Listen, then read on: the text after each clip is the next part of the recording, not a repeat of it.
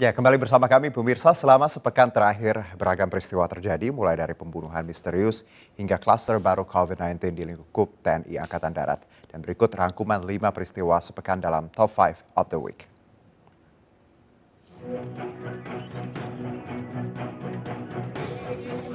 Yang pertama, ada artis Vicky Prastio resmi ditahan di Rutan Salemba oleh Kejaksaan Negeri Jakarta Selatan atas kasus pencemaran nama baik mantan istrinya Angel Elga. Perkara ini merupakan buntut aksi saling lapor keduanya yang diawali penggerebekan Vicky terhadap Angel karena didapati tengah bersama seorang pria di rumahnya tahun 2018 lalu.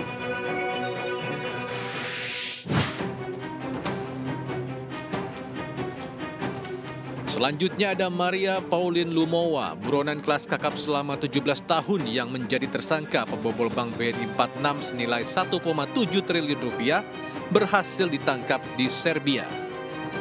Maria terlibat pembobolan kas Bank BNI cabang Kebayoran Baru Jakarta melalui kredit fiktif 136 juta dolar Amerika dan 56 juta euro di tahun 2003.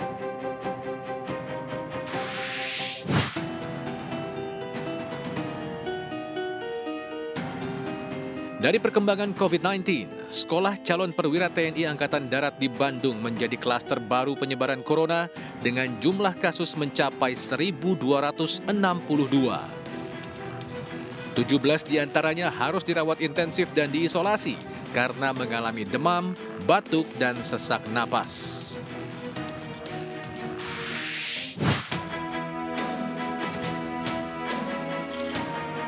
Kemudian ada kabar duka di kalangan media. Salah satu editor Metro TV, Yodi Prabowo, ditemukan tewas di pinggir tol Ulu Jami, Jakarta Selatan.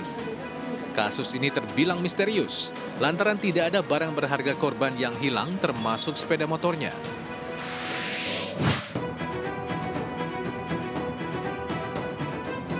Top 5 of the Week pekan ini ditutup dengan misteri kasus perusakan mobil mewah di kawasan Menteng, Jakarta Pusat.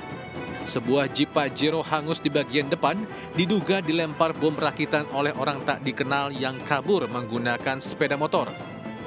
Ditemukan sejumlah komponen di lokasi seperti potongan plastik dan baterai yang rusak.